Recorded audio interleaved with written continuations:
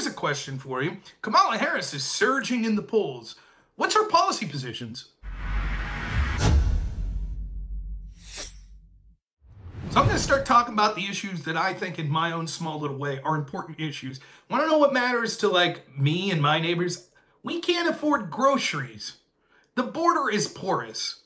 It looks like we're inching closer to getting involved in a serious war every day. We have a president right now that's nowhere to be seen, who's not mentally competent enough to run for president. We have the leading candidate at this point, based on polling, that's going to be the next president that didn't win one primary vote, that hasn't given any fucking policy positions, that since she's been announced as the Democrat candidate, hasn't given one press conference, hasn't given one pre scripted commentary where she could be challenged, despite the fact that we're being told by her campaign all of the positions she ran on in 2020 trust us she doesn't she doesn't believe them now Actually, she's no longer for open border. She's not for banning fracking. She's changed her mind in all of it. And no one's holding her accountable. And it's actually more of a threat than just Kamala winning. Remember when I told you after the Biden Trump debate that the most important thing to take away from that debate was the fact that almost every major institution in this country had blatantly lied to you about Joe Biden's mental health for years. They didn't give a fuck. They don't give it. They talk about terms like democracy. Democracy means actually, it's not just one person, one vote. The spirit of democracy is that the will of the people should be followed by their government. Intentionally lying to the people so that they choose politicians that won't benefit them or incapable of benefiting them isn't democracy.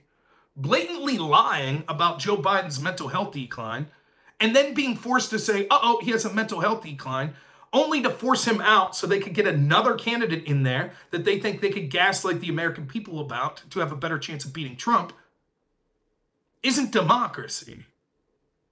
And if you go back to 2020, the 2020 election, what I said was I had no problem with people, and I think there are significant questions talking about legitimate fraud that could have occurred during the 2020 election.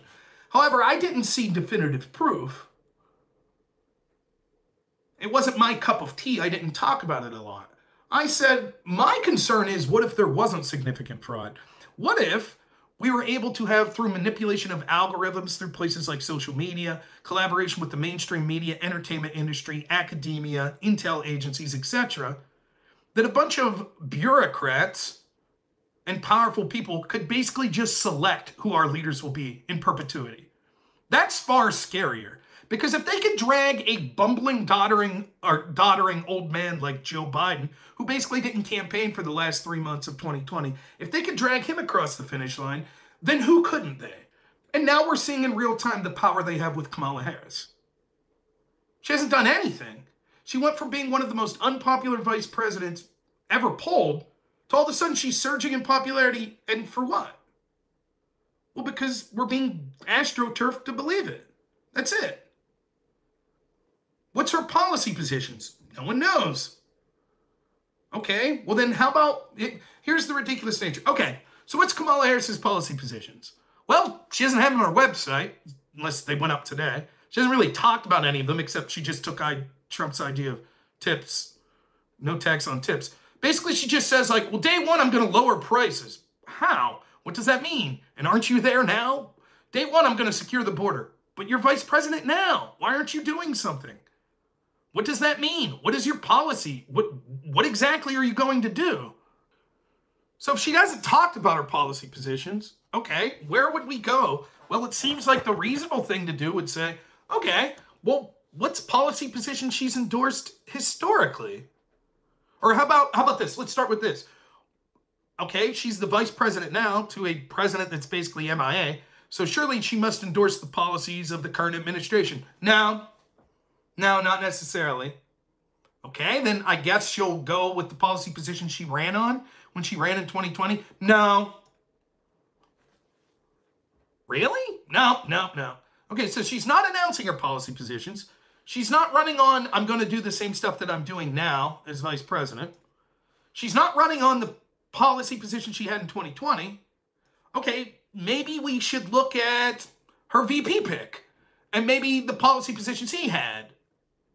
That's what she's going to. That's kind of a record that's who she picked. No, not necessarily. But she's a brat. Okay. And she's going to win. She everybody understands that, right?